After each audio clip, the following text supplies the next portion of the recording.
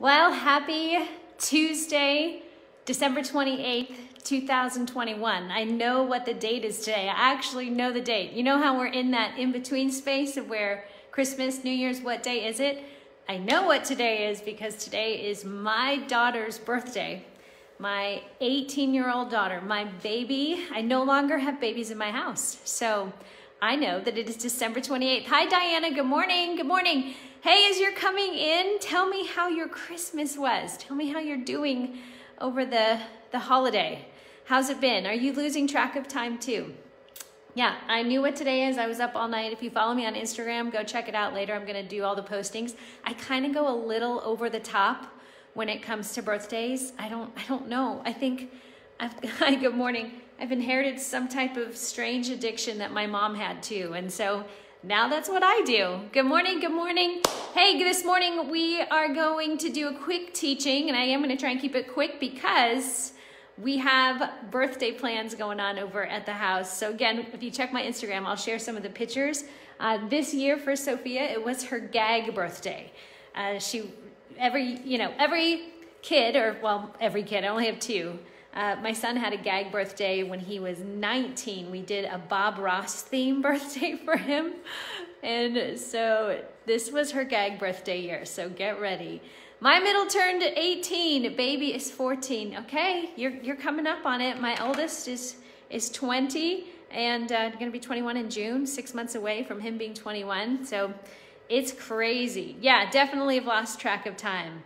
Let's take a few minutes to let everyone come in. I would love to know again where you are, how your Christmas went, or maybe even this more pointed question towards what we're going to talk about today. How are you feeling? Like, really take a minute. How are you feeling?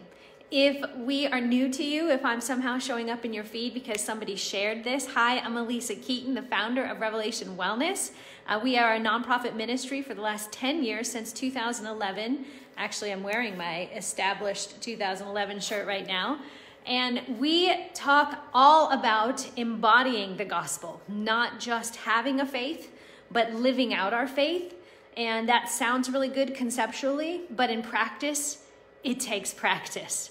And just like a workout, just like a workout, you practice it, you discipline yourself because there's a delight in the discipline. We don't do the discipline feeling dutiful. If you do it out of duty or obligation, it will not last. It might get you going, it might give you a little buzz at the beginning, a little dopamine squirt, a little serotonin, norepinephrine, you'll get that little payoff, but you won't stick with it for the long haul if it is feels dutiful. This is a delight for us. We want to change your mind, give you a new mindset for who you are as a whole person body, soul, spirit with a mind and a heart, a will, and emotions. And that takes a whole level of integration. So that is what we do here. Um, often we're a little bit too much Jesus for the world of fitness, and we're sometimes a little bit too much body for the church. I feel the, the church has gotten this kind of not on purpose got it wrong. They just haven't known what to do. How do we talk about the body? Which is such a strange thing because Jesus had a body. It's actually the fact that his body was crucified for us, his body, the wounds that he took upon his body, the suffering, the hurt, the pain, everything he felt, he absorbed for us so that we could live a new life and not just a new life, but an abundant life, a life that is more and immeasurably more than you can ask or imagine. That takes practice. So, this is a community where you are invited to practice with us. And as we move towards the new year, there is this resounding uh, agreement that we're all ready for something new, that we're all going to practice something new. So, let's talk today about what we need in order to um, in order to have resolutions that stick. Yeah, I hear I hear what you're reading. Body is achy from stress. Yes, you guys stress. If I could sum it all up, that's really what we're after here is in this world you will have trouble. Jesus says, in the world you will have trouble. In the world you will have stress, in the world you will have worry, in the world you will be tempted to to make life about things that it's not about. You will have this tension, trouble, Jesus says. But Take heart. I've overcome the world. Taking heart is what we do by gathering ourselves up as a whole person that has been redeemed by the blood of Jesus, by the sacrifice made. Take heart, gather yourself up.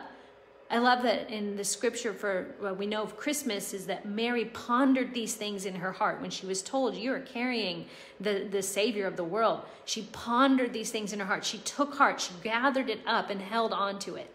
And what the world does is try to fracture us into pieces, and that's exactly what worry, anxiety, and stress does. So we are a stressed out people right now. I mean, come on. Come on. I, my bell is too far away. We are stressed out people. Our nervous systems are shot. And that's why we have our challenge, our clean hearting challenge. We're to clean out our hearts. We're to take heart. We got to take inventory. We got to clean it out because I, if you're anything like me, the last two years, you've been collecting some things. I've been collecting memorabilia, like what life was prior to this. And I, I tend to ponder about that. Like, oh, I miss things. I, we haven't had an in person event in two years. I'm dying over here. I'm happy for Facebook. I'm thankful for RevWell TV, uh, our challenge, everything, but I need some face to face real soon, which we will be getting back on the road in the new year. So praise God. But I'm prone to hold on to and kind of kind of like the Israelites looking back at Egypt. I'm prone to do that too. I'm prone to just look and like, oh, remember when things were so much better. And that type of reminiscing about the past, which is rooted kind of in regret, not in celebration of what is and what is to come, that will weigh you down. That will anchor you. That will move you towards a more depressed state or a more anxious state because you're you're like you're ready for something to happen that will then catapult you out of the change when we already have change right here available in the power of the Holy Spirit. God with us. He's with us and he is not confused about this time. He's not stressed about this time. He he understands our stress. So have compassion for yourself. It's normal that you do feel the stress, but the thing about stress is it comes and it should go. If it's constantly coming and you're absorbing and taking that into heart, you will be turning to food, drugs, substance, shopping, sex, people, power, possession to find your fulfillment.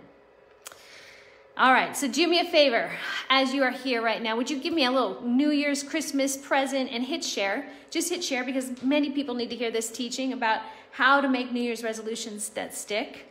Um, and that would help us to just reach people far and wide with the gospel because 74% of Americans are going to be looking to do something new in the new year. And of those 74% of people who make a New Year's resolution, 45.9% of them will be doing something with their health. It's the number one. This is the big show for fitness people. This is our this is the big dance for us. It's the new year, and 45% of all resolutions, almost 50% of them, have something to do with improving health. So, would you hit share right now so that someone might be blessed to find the love of Jesus, the message of good news, this, this message of self compassion, and there is trouble in the world.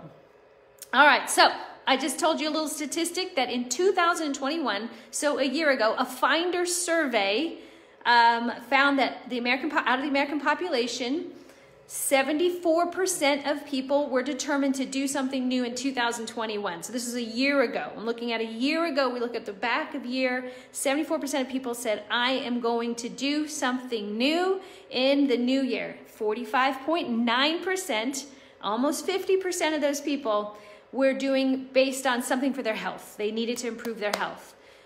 Um, listen, I know there are things that I can do. I really believe, here's the thing about health, it's so interesting because we get so busy, it just gets sidelined. When really it's the very foundation, health, which is the another word is fit, it just means to be able. That's why we have disabled stickers or disabled license plates. It's because their health is weaning or waning right now, so you get disabled. But when you have health, you're able. Can I get an amen? That's what your health is for. That's what your body's for. That's what a health, mental health is for, that you think in line with ability and cognitive awareness of what you can do more than what you can't do, that you have emotional health, that you don't suppress your emotions or aggress with your emotions, so that you are able to show up to work and not light the room on fire with your anger or, um, or uh, acquiesce to bad things that are going on that you you know something's happening where it's not above the law. People kind of get into these tactics some scary little places. It's not healthy. It's not able. It won't withstand outward resistance. So that's what health is for.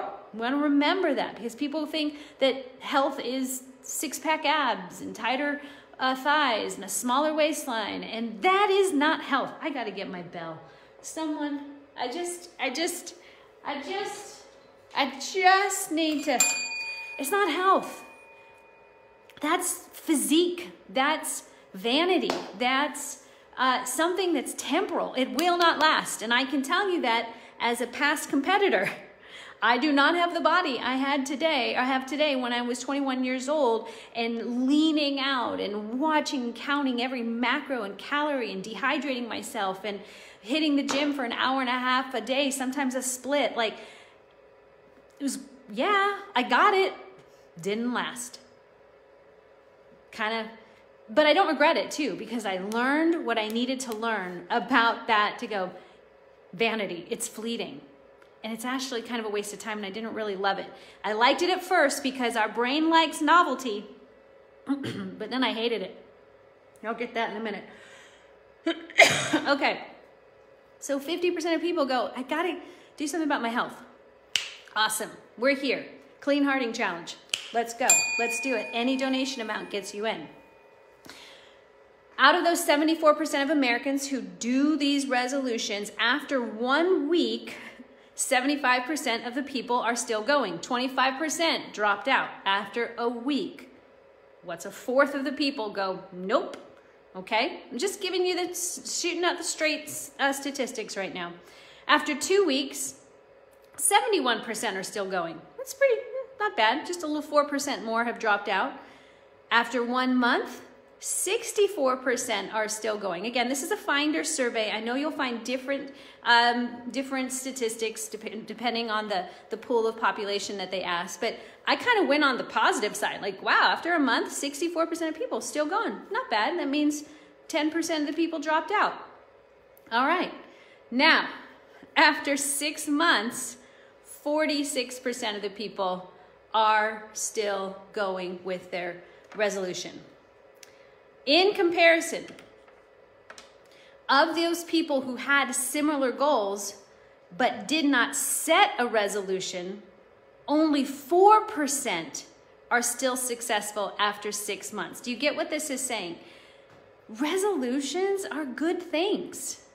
I am here today to say they're good to have. I feel like we've, we're now beginning to poo poo it and say, oh, those are for people who try and fail, so I'm not even going to try. I am here to tell you it is not a bad thing. In fact, God ingrained it into us to desire new things. And as I said about me doing bodybuilding and lifting and competition, my brain liked the new thing.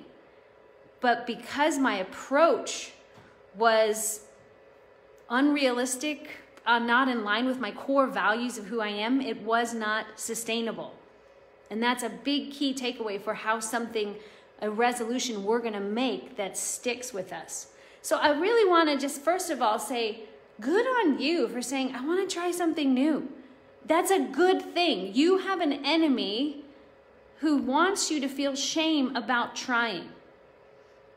And that's what keeps us from trying again, that compounding shame. Instead of shame off you, I say it right now shame off of you. And stick with us here at Revelation Wellness because the reason you cannot make change, one of the big reasons, not the only reasons, but the reason you desire change and cannot do it, it's not the lack of willpower or lack of knowing what to do something in life has changed your structure and organization of your brain, and that thing is called stress, anxiety, and adversity, trauma, capital T or little t. And to be alive is to encounter trouble, trauma, capital T, little t. microaggressions all the time. And we're living in a society now in a time with microaggressions. You've got a phone that's always someone's trying to get a hold of you, or you're always feeling you have to be on top of what other people are doing. We have fast moving information. More is better, is the, the uh, idea of the culture, when better is better. So we're all ver- reverberating at this high level of stress. If you don't have disciplines and practices in place that say, I'm taking a break, I'm resting, I will not worry about this. I can feel this emotion, but I will trust the Lord with it. It's this renewing of your mind. And when you exercise, when you exercise, you help to restructure the brain. Meditation and exercise to this day, the most beneficial act that you can do that is equal to taking a drug. Meditation, being still, having quietness, silence, solitude, and moving your body, exercise, change, reorganize the organization structure of your brain in a way that now you can get back into making healthy decisions, healthy emotions, healthy choices. Can I get an amen? Come on. So, do not despise new things. Don't despise them. Get pick them up again, friends. Take heart. Come on, some I've got to talk to someone because I know there are some of you who are counting yourself out going, I don't even want to try. First of all, you're already projecting the fact that you're going to fail. And if you think you're going to fail, you will. But you were made for new things. Don't despise the new things. Isaiah 43, 18 through 19. Remember not the former things, nor consider the things of old. Behold, I am doing a new thing. Now it springs forth. Do you not perceive it? I will make a way in the wilderness and rivers in the desert. I'm sorry, last two years feel pretty wildernessy, feel pretty dry.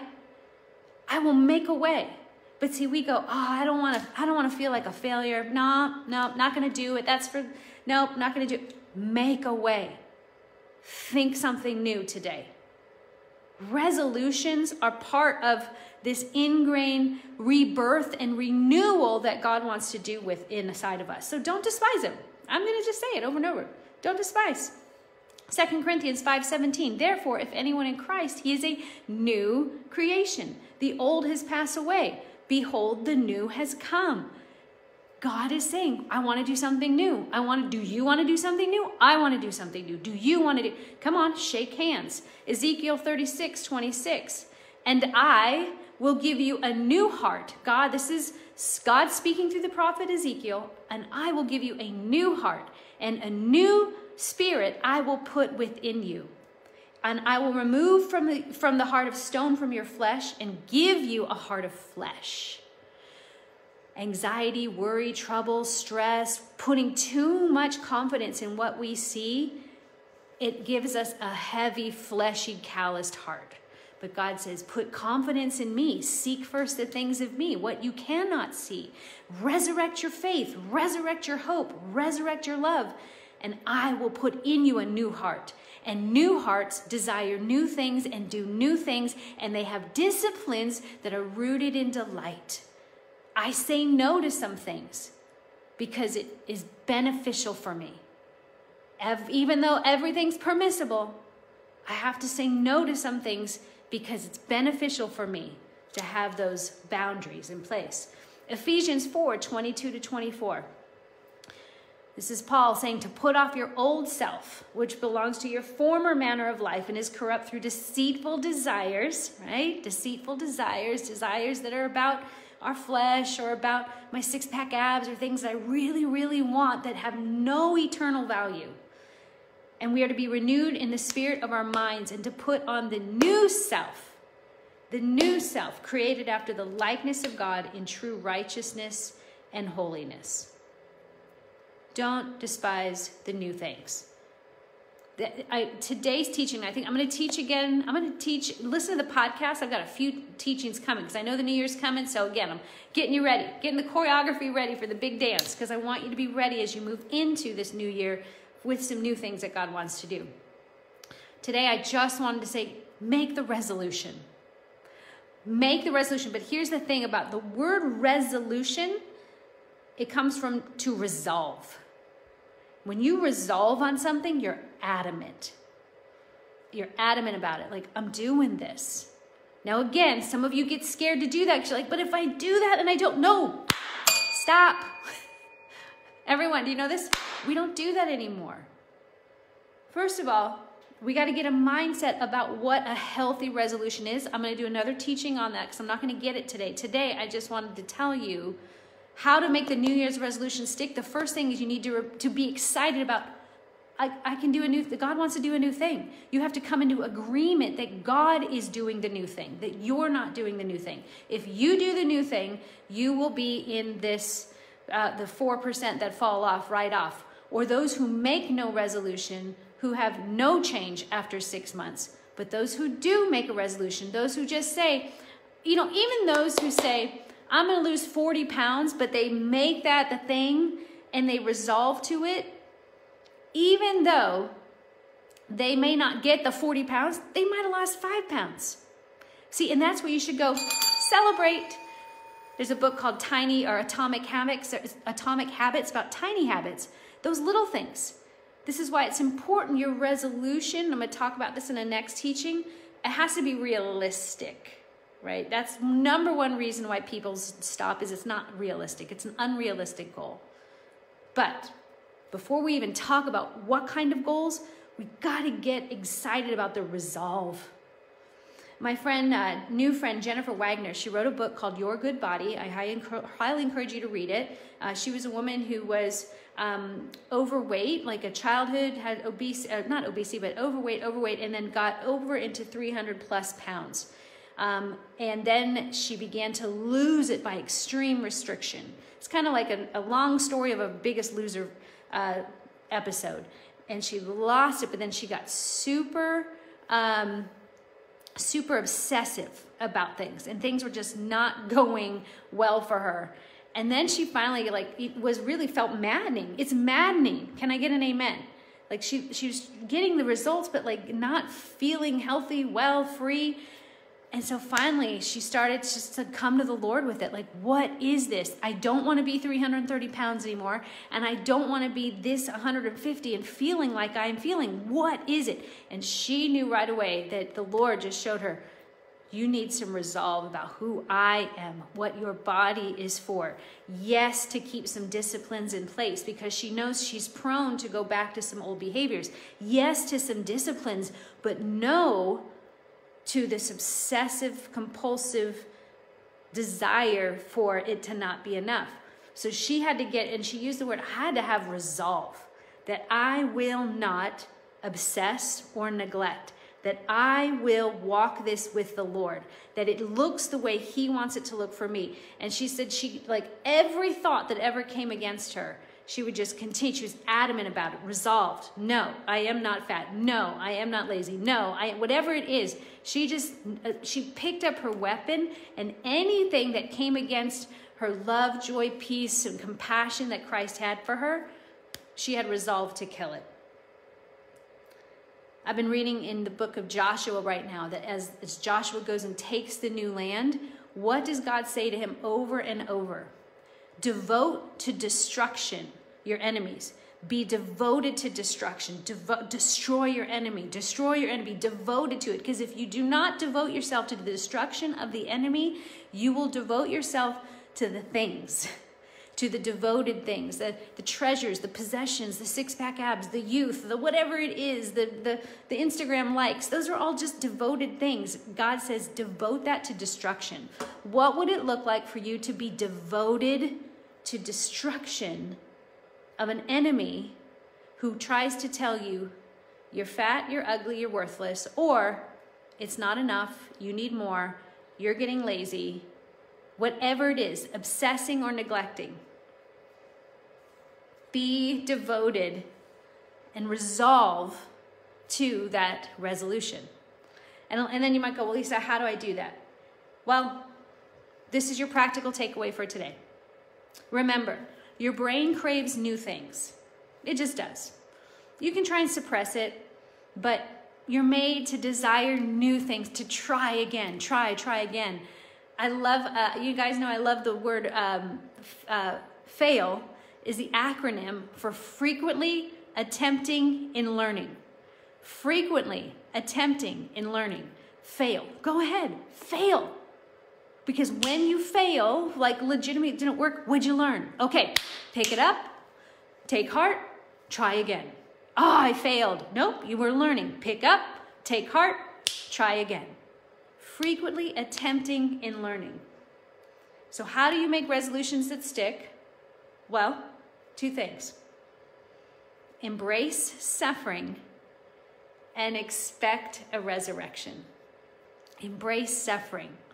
Y'all, you cannot make a resolution to destroy your enemy. That ability, that thing in your desire, whatever that come, that thought that comes that says when you're stressed out and anxious, so you go to the pantry. Nope.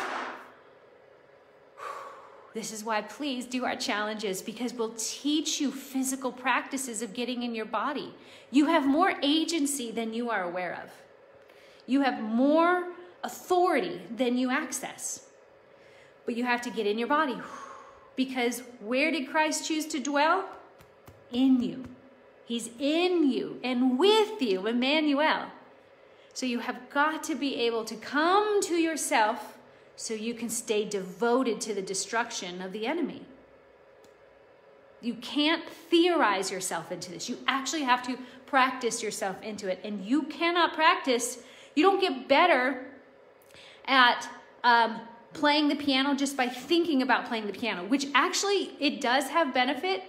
Thinking, people who don't think about playing the piano and just practice playing the piano, this is actually a study.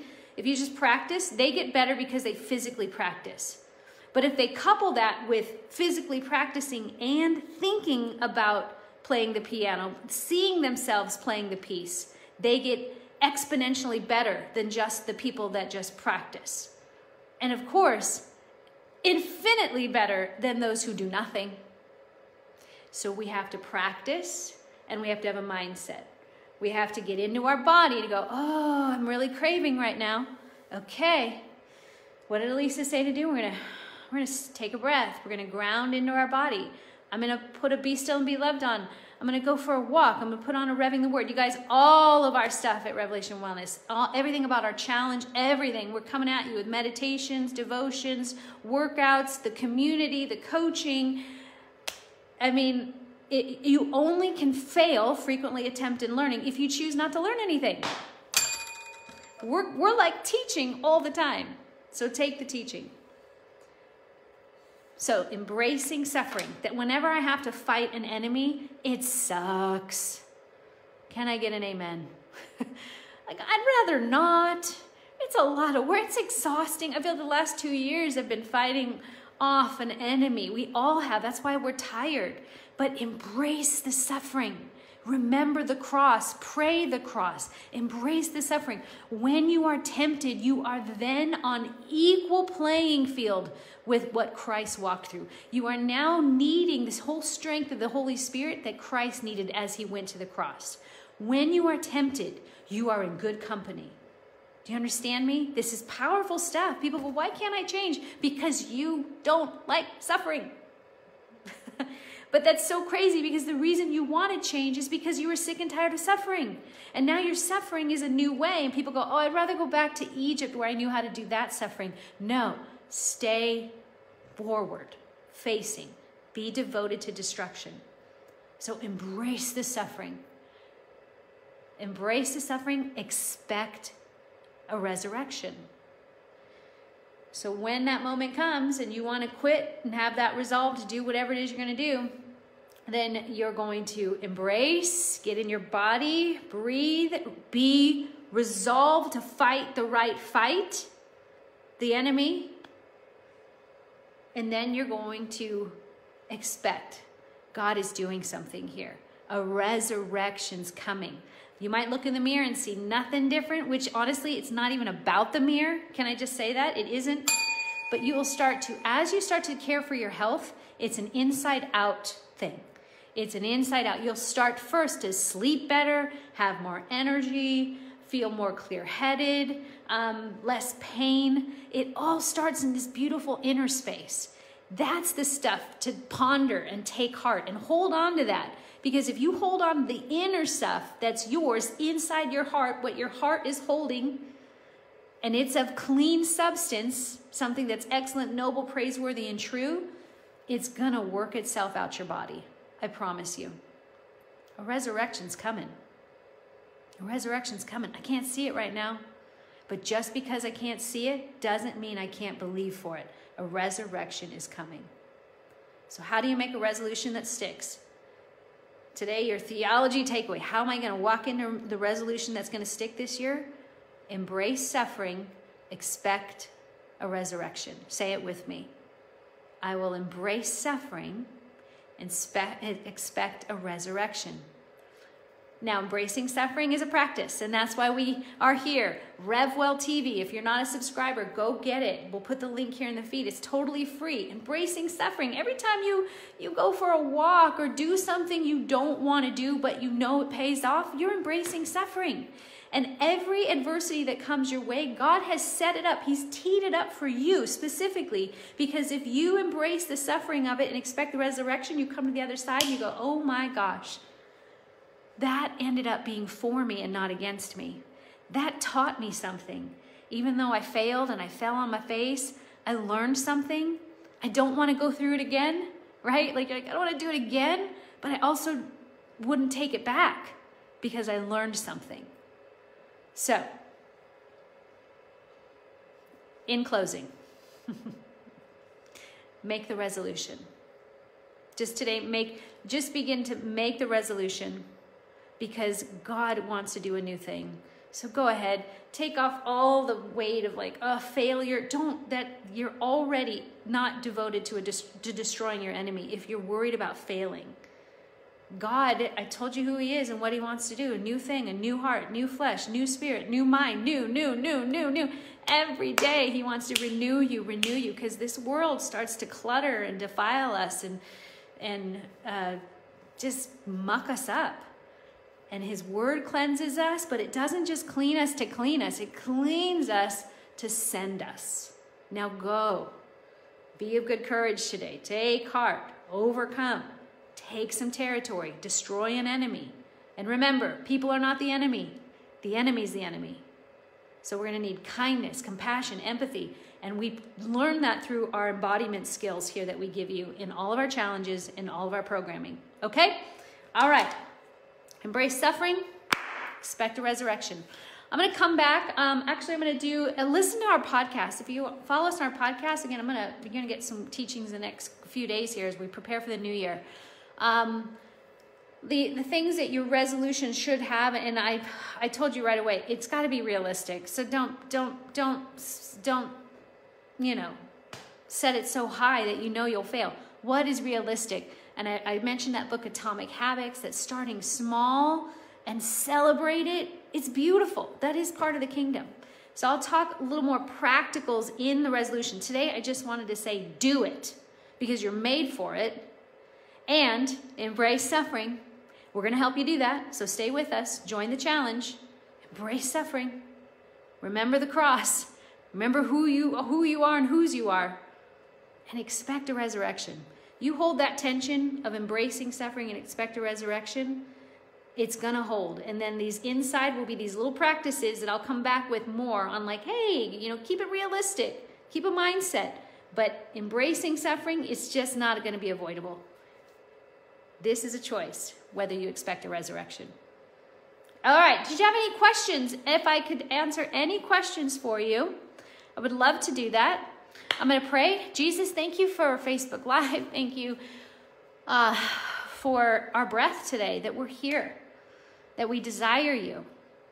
I pray, God, uh, that you would give each person here a vision of who you are, of sense of peace, of your presence, your delight, how much you love them, that you are not like the world. You do not accuse or you shame to teach us. You are kindness and you are firm with boundaries for us.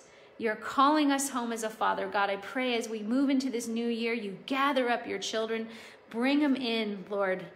Bring them next to you and close to you to hear your heartbeat, to do what you want to do. God, bring change into this world through us as it is in heaven. In Jesus' name, amen. There's a link up above to sign up for the clean hearting. So you can just click that link and go. Any donation amount gets you in. Any donation amount at all. We would love $10. Give the best you can because whatever you give, you can help for others who can't give. Um, I think you can give as little as a dollar. So uh, if you don't have a dollar, my goodness, you let us know we'll take care of you. But give what you can. This is how, as a nonprofit ministry, we keep the lights on, our fundraising, our donors, you help us. Um, if you're a monthly partner with us, thank you so, so, so much. You truly, truly keep us on mission. I'm on an antidepressant that keeps me from getting too emotional. Yeah, I found it also makes it hard to get resolute about. Wow, that is so, so, yes, Nona, Nona, what a very good observation. Really, really good. Man, I feel that for you. Um, I would encourage you, Nona, one, stay in, you know, under the care of your physician. Let them know your desire. Like, I, I, yeah, I want to feel things. Talk to them about that. And mostly I would say, Nona, and anyone else who feels like, Nona, I'm feeling you right now, I pray that you would, would uh, pray to the Holy Spirit listen he can he can override medication that you want to feel that you want that courage to feel because if you're going to feel the good you have to feel the bad. Um, i would encourage you to talk with your physician about that with the medication and how and when you're ready to to try that. But yes the antidepressants there's nothing wrong with anti, antidepressants and anxiety medication. I do believe though they're there for when it's like it's it's 911 it's 911 i think they're they're there. But at some point when the hemorrhaging or the triaging can go down you can take it off so take the bandage away so that you can heal. It's for people it's at different times of their life. They're fantastic. They are not to be shamed if you have them or are using them but yes they will numb things down so the full expression of life is harder to fill so we pray for you nona Holy Spirit, we pray Nona would have, uh, that you would break through and give her a taste of feel and joy today. And then, Lord, that she would walk in wisdom as to what to do next as she cleans her body, heart, and mind uh, to be a fully renewed woman in your in your spirit. In Jesus' name, amen. Yeah. Thank you, Nona, for saying that. And you're not alone. There's so many people. And honestly, if it's not an antidepressant we use, we you can use um, food, and food becomes that numbing out thing. So you no longer even taste food anymore. And so you have to taste more food to try and taste food. It's the same with alcohol, it's the same with anything. Anything we do to alter the chemicals in our brain to try and level the pain receptors, we it, it blows out everything. So this we're all in it with you, Nona. Like People are using things, whether it's an actual drug or a substance of food itself right now, to try and just get through the times we're in. That's why we're going to clean our heart. We're, we're clean our heart. Yeah. So I feel you. Okay. Hit share if you haven't shared and if this teaching was uh, encouraging to you, felt like someone needs to hear this too, and you don't want to be alone in this, and that we want to see new things happen in this new year as well but in a different way, would you hit share? Okay, thanks you guys. Um, sign up for the challenge. Sign-ups close on January 6th, so a week from Thursday. You got like nine, seven days left. Just don't wait. Don't wait. So many people wait, and then it closes, and then they try to get in, and it's just as hard to do. Um, so don't wait. Go give your best. Pray about how much you can give. Bless someone else. Uh, you can also donate for someone else and it'll just get sent to them and they can opt in or opt out. So if they choose not to do it, well, thank you for your donation, but it's a great way to just get it into someone be like, here, I, I signed you up and they can choose whether or not to do it. So you can do that, and you can also give on the behalf of someone in, mem- in memory of. Um, we love that. We start on the December, January 10th. You'll get daily emails for 21 days, a devotional, some action items to do to clean our hearts, and some practices of embodiment, getting back in our heart and our mind, our choices, wills, and emotions. And, and that will happen for 21 days. You get a movement calendar for 21 days, beginner and advanced, all bodies, all shapes, all all of our movement is built on compassion and joy. And I tell you, we get so many testimonies of people who hated working out and then they loved working out because it's a completely different mindset of what health and your body is for. And it'll begin to build up that adamant spirit in you to say, nope, this is what my body's for. This is how I will choose to live. The world cannot assign on me any more of its curses or um, assignment of slavery to my body. So you'll get the movement calendar, um, ongoing coaching with me, and our coaches back on our Facebook page. All right, that's it. I'm out. I gotta go celebrate Sophia. I get to go celebrate Sophia. I'll see you guys in all the places uh, next Tuesday, same time, 10 a.m. And then also check out the podcast, Revelation Wellness Healthy and Whole. Make sure you subscribe because then it'll get sent to you every time we give put out new teachings and new information. Okay? You guys have a great day. Peace.